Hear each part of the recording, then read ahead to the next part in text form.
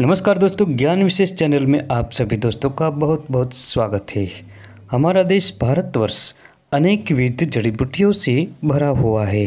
भारतवर्ष में अनेक प्रकार की चमत्कारिक और दुर्लभ जड़ी बूटियाँ पाई जाती है, जिसकी ज़्यादातर लोगों को पहचान नहीं होती या इसके गुणों को नहीं जानते। दोस्तों, प्रकृति के अनमोल खजाने में से आज मैं आपको एक अद्भुत जड़ी बूटी का दर्शन कराने जा रहा हूँ, जिसका नाम है द्रोण पुष्पी।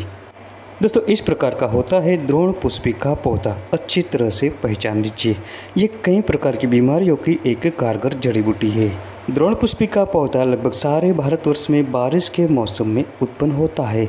ये खेतों में खरपतवार के रूप में होता है और सड़क के किनारों पर भी आपको देखने को मिल जाता है। ये पौधा रेतीली ज़मीन में ज़्यादातर उत्पन्न होता है। ये बहुवर्षायु होता है जहाँ पानी मिल रहा हो, ऐसे स्थान पर यह पूरे वर्ष भर रहता है। ये पौधा औषधीय गुणों से भरपूर होता है।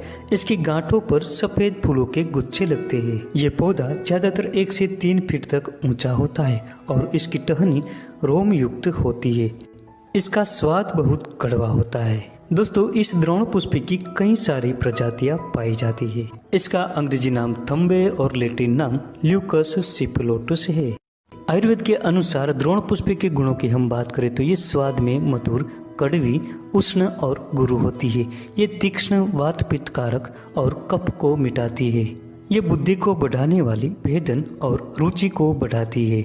इस पौधे का पंचाग कृमि मिटाने वाला स्वेद जनन, विरेचक और उत्तेजक होता है।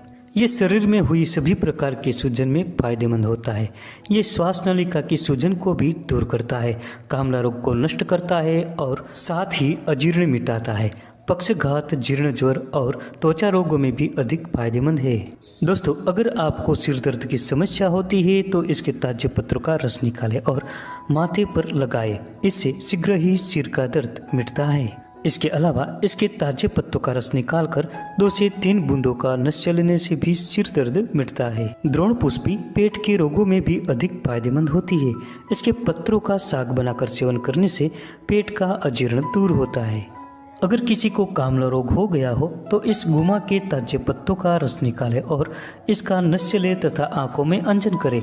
इसके साथ ही इसके पाँच मिली रस के साथ थोड़ा सा शहद मिलाकर पिए।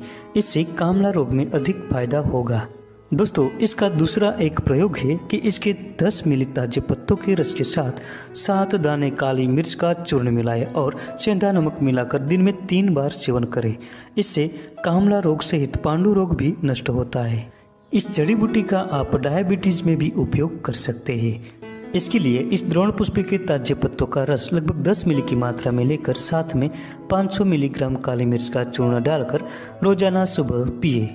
इससे डायबिटीज़ कंट्रोल में हो जाता है। इसे सुखाकर भी आप उपयोग में ले सकते हैं। इसके लिए इसके 10 ग्राम पत्तों के सूखे चूर्ण के साथ साथ में 500 मिलीग्राम काली मिर्च का चूर्ण मिलाकर आधा लीटर पानी में उबालें और ये जब एक चौथाई शेष रह जाए, तब ठंडा होने के बाद छान कर पिए। आप इसका उपयोग ज़ोर में भी कर सकते हैं। इसके लिए द्रोण पुष्प के पंचक के साथ, सौंठ गिलोय, चिरायता और पित पापड़ा, इन सबको समान मात्रा में मिलाकर क्वात बना लें। अब इस क्वात को 10 से 20 मिली के मात्रा में दो से तीन दिनों तक पीने से विषम ज्वर नष्ट हो जाता है। दोस्तों, जब शरीर में वात बढ़ जाता है तो कई प्रकार के वात विकार उत्पन्न होते हैं। इसके लिए द्रोण पुष्प के पत्तों का ताज़ा रस निकालकर शहद के साथ मिलाकर पिए। इस प्रयोग से बढ़े हुए वात का जल्दी ही समन होता है और वात विकार से मुक्ति मिलती है। दोस्तों, ये चमत्कारिक जड़ी बूटी सांप के काटने पर उपयोग में ली जाती है। अगर किसी को सांप ने काट लिया हो तो इसके ताजे पत्तों का रस जल्दी से निकाल कर नश्य दिया जाता है, कान में डाला जाता है और साथ में पिलाया भी जाता है। इससे मरीज़ की बेहोशी दूर होती है और जल्दी से होश आ जाता है। इस प्रयोग को अजमाने से मरीज़ की जान ज़रूर बच जाती है और अस्पताल ले जाने का वक्त मिल जाता है।